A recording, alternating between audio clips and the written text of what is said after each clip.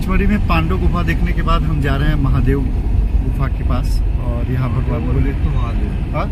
महादेव और गुप्त महादेव। महादेव और गुप्त महादेव। यहाँ भोलेनाथ का मंदिर है और जैसा कि आप देख सकते हैं चारों तरफ़ जंगल ही जंगल है बड़ा खूबसूरत सा और ये है जहाँ एक तरफ़ बम्बई में गर्मी पड़ रही है यहाँ पर मौसम बहुत ही अच्छा है। और यहाँ गर्मियों में भी 35 डिग्री से कभी ज़्यादा तापमान नहीं जाता है पंचमढ़ी में। एक मध्य प्रदेश का बहुत ही चर्चित हिल स्टेशन है ये। और हमारे साथ ये हनु भी हैं, सत्यम भी हैं। बहुत दिन के बाद मैं वेकेशंस के लिए निकला हूँ। और मुझे लगता है कि श्रीनगर के बाद मेरी ये दूसरी पहली ब्लॉग है। सॉरी और मैं आपको सामने का कुछ नज़ारा दिखाना चाहता हूँ।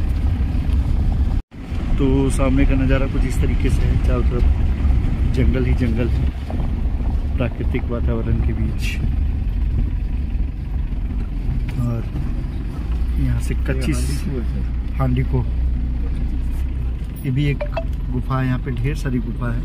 ज़्यादातर गुफाओं का जो संबंध है वो बहुत दूर यहाँ जिप्सी काफ़ी चलती है। देखिए। और जिप्सी इसलिए क्योंकि चूँकि पहाड़ी इलाका है लेकिन हमने जो है हमारी अपनी गाड़ी प्रेफर की, क्योंकि ये ढकी हुई भी है और मौसम के हिसाब से अच्छी भी है। तो आप देखिए, जल्द हम गुफा के पास, मंदिर के पास पहुँचने वाले तो हम हांडी को पहुँच चुके हैं और यहाँ देखिए, मेरे सामने ढेर सारी जिप्सियाँ लगी हैं। ढेर सारी यहाँ जिप्सियाँ हैं।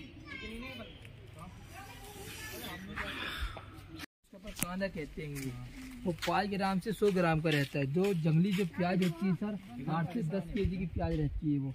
जो जोड़े का दर्द के लिए काम में आती है तेल बनता है जड़ी बूटी से। वो आप दो मिनट लगाओ ये पूरा खंडोली खो है चारों तरफ़।